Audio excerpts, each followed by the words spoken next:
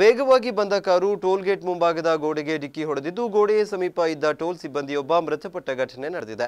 ಕಾರಿನಲ್ಲಿದ್ದ ಮೂವರು ಕೂಡ ಗಂಭೀರವಾಗಿ ಗಾಯಗೊಂಡು ಆಸ್ಪತ್ರೆಗೆ ದಾಖಲಾಗಿದ್ದಾರೆ.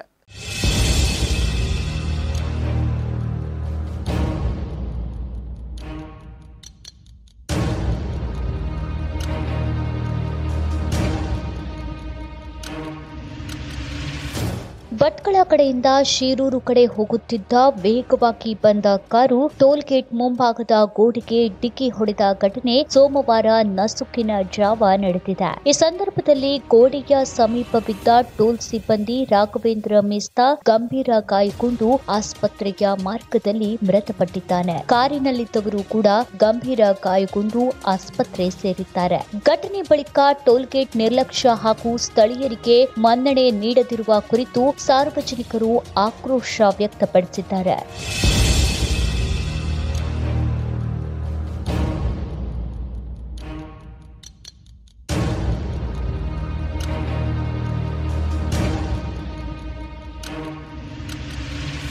ಸ್ವಲ್ಪ ದಿನದ ಹಿಂದೆ ವಿವಿಧ ಸಂಘಟನೆಗಳು ಸೇರಿ ಎಚ್ಚರಿಕೆ ನೀಡಿದ್ದರು. ಟೋಲ್ ಅಧಿಕಾರಿಗಳು ಪರಿಸ್ಥಿತಿ ಸುಧಾರಿಸಿಲ್ಲ.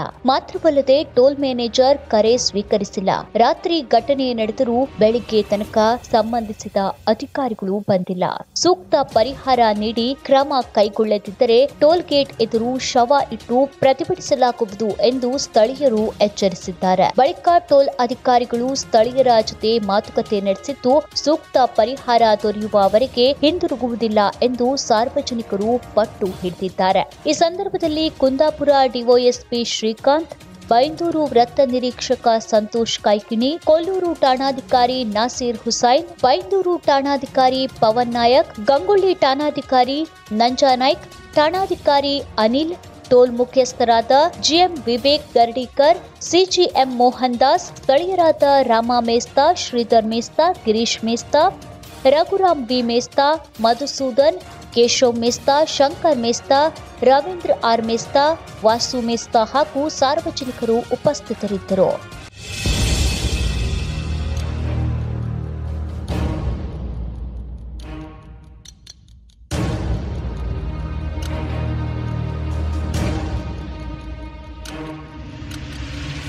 ವಿಸ್ಮಯ ನ್ಯೂಸ್ ಎಸ್. ಉದಯ್ ನಾಯ್ಕ್, ಭಟ್ಕಳ.